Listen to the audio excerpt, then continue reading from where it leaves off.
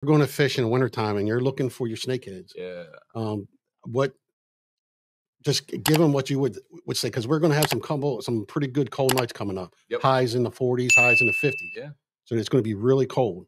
So tell them your suggestion if you're going to be looking for snakeheads. Okay, so here's the deal for cold weather snakehead fishing. Okay, first thing you want to look for is a two to three day warming trend. So you know the highs are going to get up into like the 50s. That's a warming trend during the cold part of the year, right?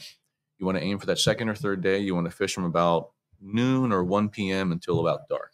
That that's going to be your window right there. You want maximum warming. Aside from that, find a south facing cove. So pull up Google Earth, whatever tool you use for that. Look at those coves that the setting sun or the high sun to the setting sun is going to have maximum exposure on that particular cove. And what that'll do, it, it provides the most warmth because snakehead, like we talked about it, we were talking about here in the shop a little bit earlier. Snakehead do seem, and the, the science is still young, but snakehead do seem to gravitate towards deeper water when it gets cold. Um, but at the very least, they're definitely going to go to the bottom, wherever that is. They're going to hang out and just kind of lay in the mud or the bottom. So people always ask me where to go in the colder months. My answer is usually the Eastern Shore.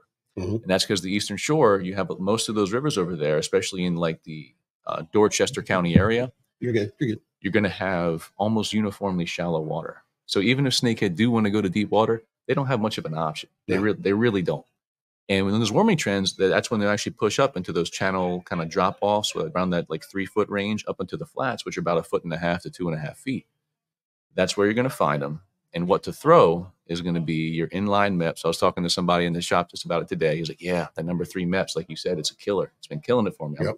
That's what you want to use this time of year. That or minnows. And Edgemere Bait and Tackle, they got Yep. some great minnows over You here. got plenty of minnows. This is where I always come from. I only live like eight minutes away from here.